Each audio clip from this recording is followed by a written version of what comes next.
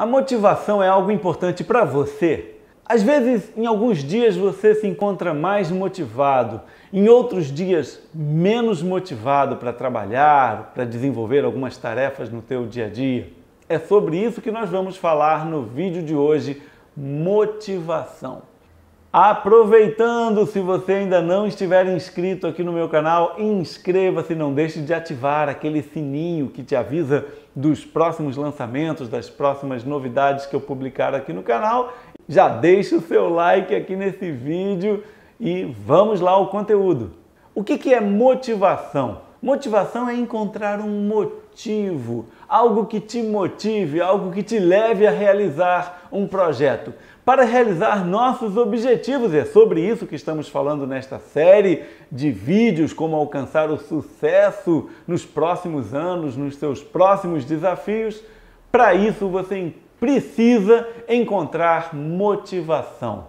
E como que nós fazemos para encontrar este motivo que nos leva a uma ação? O ser humano, ele é motivado por duas possibilidades. Há dois motivadores no nosso cérebro humano. Ou nós buscamos o prazer, ou nós nos afastamos da dor. Exatamente. Ou você busca algo, ou você se afasta de algo. O nosso cérebro funciona dessas duas maneiras e é sobre este cérebro reptiliano que nós vamos falar. Aqui, neste conteúdo que eu gravei para vocês, um curso gratuito, eu falo sobre o funcionamento do cérebro reptiliano e como ele se interage, como ele se integra, como ele se comunica com o cérebro límbico e com o neocórtex, o córtex pré-frontal. E aí a gente vai entender bem como é que funciona a motivação. Na motivação, ou nós procuramos algo, nos aproximamos de algo ou nos afastamos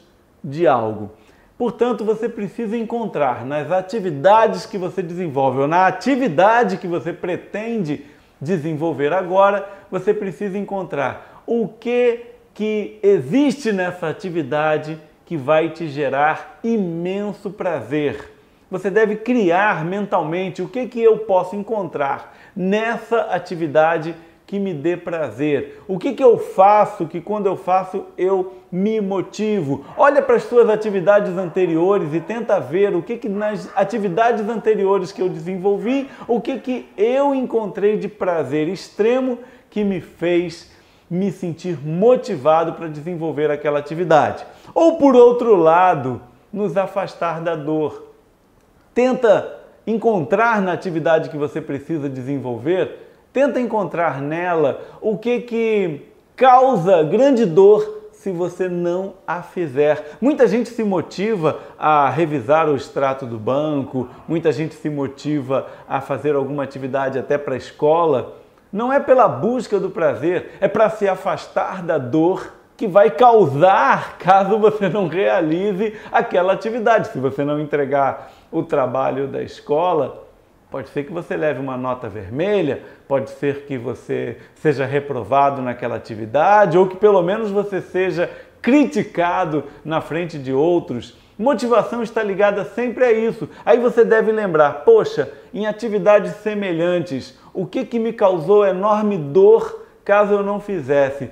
Foca na dor. Há pessoas que se motivam mais pela busca do prazer, outras pessoas que se motivam mais para se afastar, por se afastar da dor. Você precisa encontrar qual é o teu principal motivador e aí agir dentro disso. Encontre aí onde está a tua real motivação. Espero que você esteja gostando desta série de vídeos. Dê o seu like, curta este vídeo se você tem sugestões de outros temas para nós abordarmos durante, durante esta série de vídeos, escreva nos comentários e eu vou buscar criar conteúdos que sejam mais adequados para o teu interesse. Muito bem, continue assim, cada vez se motivando mais para construir o seu sucesso, para alcançar os resultados na sua vida. Um forte abraço e até o próximo vídeo.